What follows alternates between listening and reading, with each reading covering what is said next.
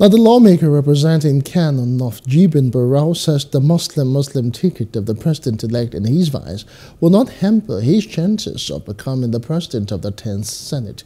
Barau is the chairman, Senate Committee on Appropriation in the 9th Assembly stated that these were briefing journalists today in Abuja. He told correspondent that he was more qualified than most of his colleagues running for the coveted position. It's clear in the standing rules that aspiration or election for the office of the Senate presidency shall be in accordance with ranking. And amongst those who are seeking to acquire that office as we speak, I have the highest ranking. I have the highest ranking. So it's constitutional.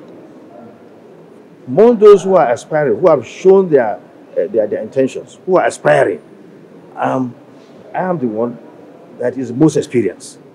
He urged the president-elect to consider a ranking senator from the Northwest geopolitical zone as the next Senate president. Here, if you are talking about such sentiments even, Northwest deserve to be given the Senate presidency because we gave the president the highest votes. And we want our president to go for second term after this election, after this one. We wanted to go for second term because we saw what he did in Lagos, transform Lagos to become an economic Eldorado.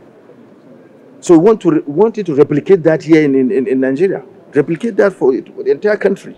Hello, hope you enjoyed the news. Please do subscribe to our YouTube channel and don't forget to hit the notification button so you get notified about fresh news updates.